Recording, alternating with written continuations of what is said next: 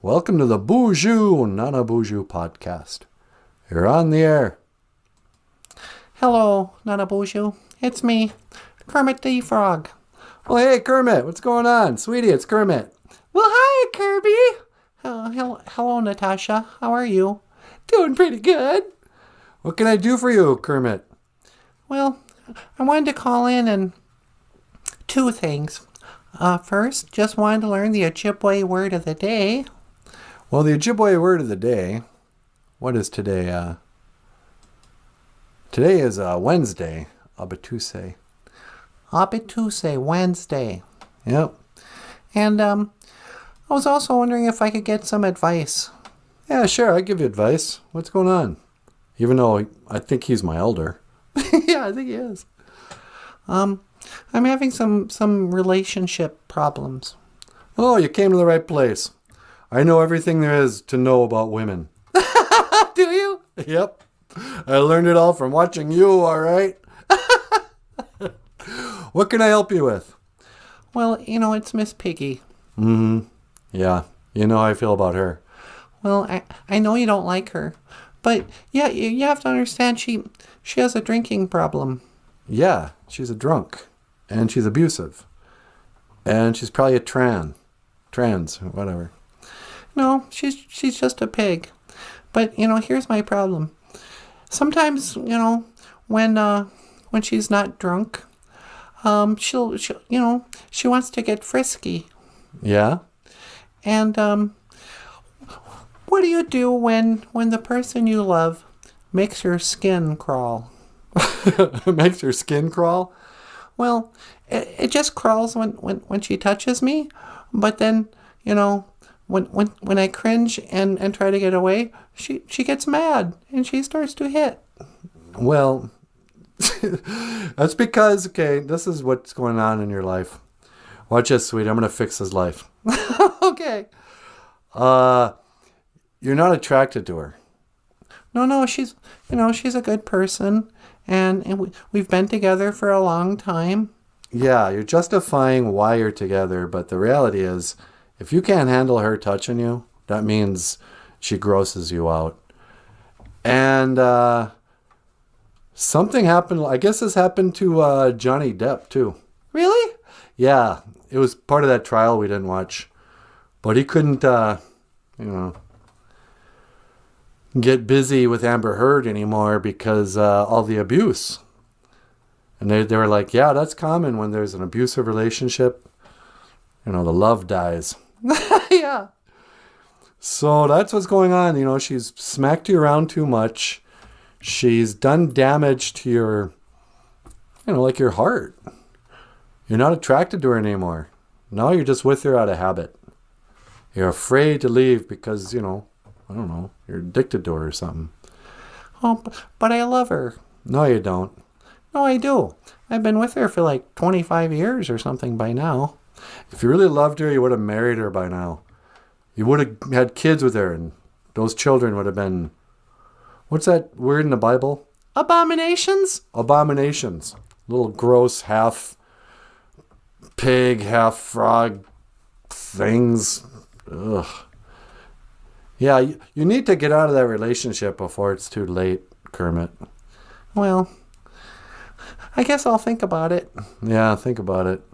You need a place to stay, you give us a call. You can stay on the couch in the kitchen. In the kitchen? I mean, the living room. yeah. yeah. Anything else I can do for you?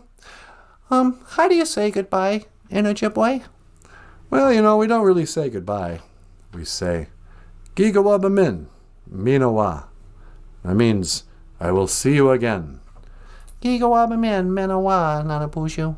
Gigawabamin, Menawa, Kermie. Yeah, you too, you too, Natasha. okay. Yeah, see you, buddy. Hang in there. Yeah, it's just like Johnny Depp all over. You can only take so much abuse from a woman before you just can't even find her attractive anymore. Have you ever liked somebody and then stopped being attracted to them? Yeah, all the time. Until I met you, every woman I was really attracted to for about a week. And I'd be like, ah, you know what? She ain't all that. you know. She's a lot fatter in real life. Yeah. I remember being a young man and being kind of stuck in a relationship because uh, he just, you know, it's more trouble getting out of a relationship than just putting up with her nonsense. There's no way to live. Fat, drunk, and stupid are no way to go through life. but I tried my best. I remember one day you and me in a pouring ran down my chin. So you pulled me close and you drank it in, and I remember your ways. And you and me in a sad embrace, and I remember your place where you pulled me close and you kissed my face. Will I, will I ever see? No, I, don't think I'll ever see you again.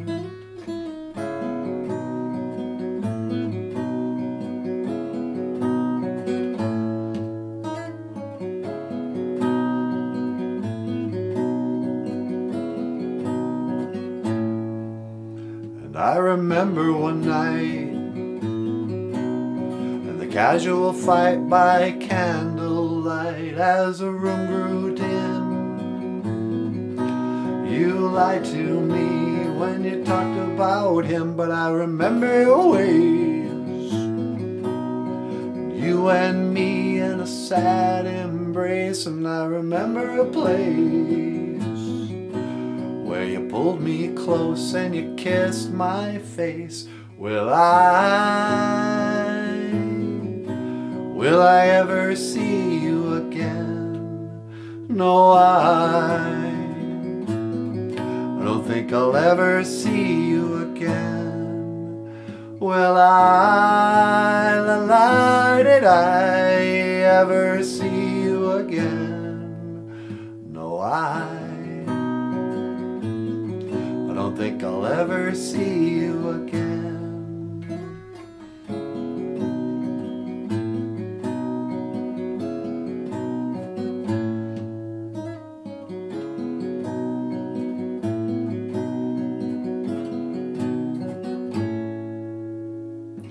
Way back when, but I don't know how, you sacrificed my sacred cow. That was then, this is now. If life's a stage, then take a bow. If life's a stage, then take a bow. Tell the story. Okay, kids, here's a story. Time now for story time with Emily Aubrey and Michael Lyons. Back in the days of the grandfathers, there was a young Anishinaabe man. He might have been from, he might have actually, he might have been Dakota. You know what? I think he actually turned out to be Puerto Rican. really? Yeah, but whatever. Let's say he was from Sisseton, South Dakota, because I heard he actually had relatives in Sisseton. Okay. There was a young man had a dream. He wanted to be a singer and a dancer. And he, he came from a very modest, very traditional reservation home on the Sisseton Reservation in South Dakota. What's that one called? Uh, the one in Sisseton is called Fort. No, I don't know. Is it just Sisseton? Is there a Sisseton Sioux? Hum papa soo, hum papa hum papa hum papa mau mau, the hunk papa soo. Anyway, so he's from a reservation. He had this. He wanted to be a dancer and a singer, but his grandfather wanted him to be a traditional powwow dancer. Carry on the family tradition of powwow dancing. He was a fancy dancer, in fact. No, he wasn't. He was a traditional dancer. He had leggings and you know, traditional Dakota, you know, regalia, I guess you'd call it. And he went to his grandfather and he said, Grandfather, I have a dream. I want to go to the city and I want to follow my dream of becoming a singer and a dancer. And his grandfather looked at him and he, said, and he said, Grandson, I am very old and I'm very traditional and I have my own plans for you. You must stay here and carry on our ways. He goes, No, grandfather, I want to be my, be my own man. So the grandfather said this. He goes, I'm going to go on a sweat and I'm going to have a dream. When I come out, I will tell you my decision. So that night he went on a sweat and he, and he fell asleep. And when he woke up, he came and he called his grandson. He goes, Grandson, I had a dream that you will head off to the city known as Los Angeles. No, it was San Francisco. Yeah, San Francisco. You will go to the city of San Francisco in the 70s. And I will give you this traditional Dakota garb, Dakota regalia. And I will paint your face war paint. And he, and he dressed him up. And he drove him down to the bus stop. And he goes, Now go. Go to the land of San Francisco. So this guy gets on the bus and he's all dressed up in his regalia. He's got buckskin leggings, war paint, you know, the whole nine yards. Hours go by, eventually ends up in San Francisco, gets off the bus. Who's there? There's a guy in all leather too. Only this guy's in black shiny leather. He's got a cap and a motorcycle. And he goes, Hey, where are you from? And the Indian guy goes, Oh, I'm from the reservation. I came out here to San Francisco. I want to be a singer and a dancer. And, he, and the biker goes, Oh, hey, that's cool. So do I. Want to go for a ride in the back of my motorcycle? And well, this Indian guy, you know, he's, he's, he's straight off the res. He, he doesn't know any better. He goes, Yeah, sure. I can't see dangerous red flags. You know? So he gets on the bike and they start riding through town. And they see a construction site. And they stop there and there's a guy on a jackhammer. They're like, hey Mac, we're trying to drive around this construction site. Can you can you help us? And the construction guy stops and goes, Hey, Indian biker guy, what are you guys doing? Because we're we're gonna we want to be singers and dancers. The construction guy looks around and goes, don't tell my buddies on the union, but I want to be a singer and a dancer too. But I'm just a construction worker. You know? I mean, yeah, I got this wife beater and my hard hat, and I look pretty buff, but I'm not happy. I want to be a singer, I want to be a dancer. And they're like, well, hey, why don't you come with us? So he gets on the back, and all the three of them are riding on this, on motorcycle, just snug. You know, Indian guys like in in the middle of a I don't know what. Well, pretty soon a cop comes by. Woo woo woo woo. And he pulls him over. He goes, "Hey guys, excuse me, biker, Indian construction guy. Three of you guys can't be riding around a motorcycle. Only one of you has a helmet, and that's a construction guy. Drive, you know, whatever. I'm gonna write you a ticket." They said, "Oh, please, officer, don't give us a ticket. We want to be singers and dancers. We don't have any place to live. Can we come back to your house and live with you and your wife?" And the bike and policeman goes, "I don't have a wife. Never mind why." And quite frankly, I know what you're saying. I may look like a cop, and I am a cop, but I want to be a singer and a dancer too. But You can't live with me. You want to go stay someplace? Go stay at the YMCA, the Young Men's Center, whatever, the YMCA. And the Indian guy goes, YMCA? I don't want to go down there. That doesn't sound very fun. And the cop goes, No, it's fun to stay at the YMCA. And they all looked at each other, and the construction worker goes, What did you just say? And the cop goes, I said it's fun to stay at the YMCA. And, each, and in time, each of them started snapping their fingers. It's fun to stay at the YMCA. It's fun to stay at the. And this is the story of how the Indian guy from the village people became the Indian guy from the village people.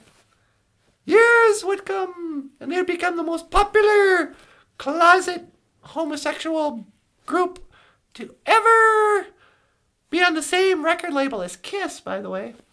That's right. Yeah, I think they have the same management. Kiss and um, the Village People, Donna Summer. Donna Summer, who's that? You don't remember Donna Summer? She a disco singer? yeah. What was her song? Um, dancing Queen. I want to be your partner. Can't you? No, that's yeah, ABBA. All right. What did uh Donna Summer sing? I remember she had a great. Had something to do with the summer. Was there a, did Donna Summer sing a song about summer?